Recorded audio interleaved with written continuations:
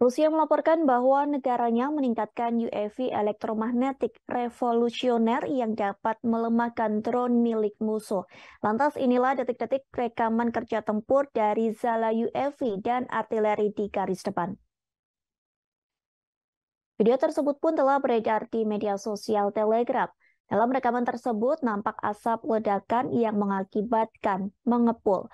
Dalam Maaf, maksud kami dilaporkan video tersebut merupakan kemegahan dari Sala 42108 milik Rusia.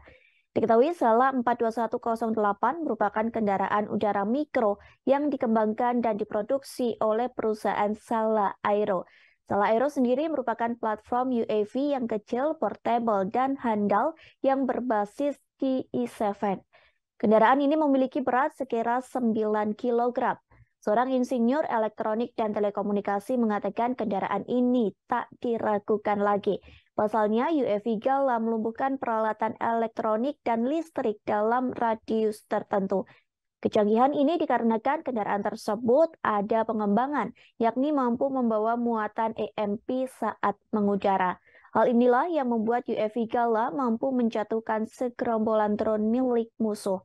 Perangkat tersebut merupakan pemulihan perbantuan dan pendorong roket meluncurkan UAV yang dilepaskan dari tabung silinder.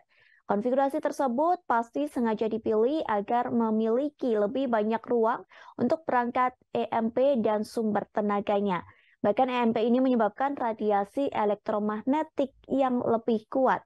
Selain itu, EMP ini mampu menonaktifkan peralatan elektronik milik musuh. Sehingga hal ini dapat diasumsikan bahwa kendaraan tersebut memiliki roda pendarat. Tak hanya itu, namun kendaraan ini dapat mengontrol penerbangan lanjutan dan sistem telemetri akan menghabiskan ruang yang sangat besar. Dengan kehebatan dari UAV Gala ini tentu membuat tentara Ukraina semakin rugi. Pasalnya akan ada banyak senjata hingga peralatan perang Ukraina yang dengan mudah dihancurkan oleh pasukan Rusia. Terima kasih sudah nonton. Jangan lupa like, subscribe, dan share ya.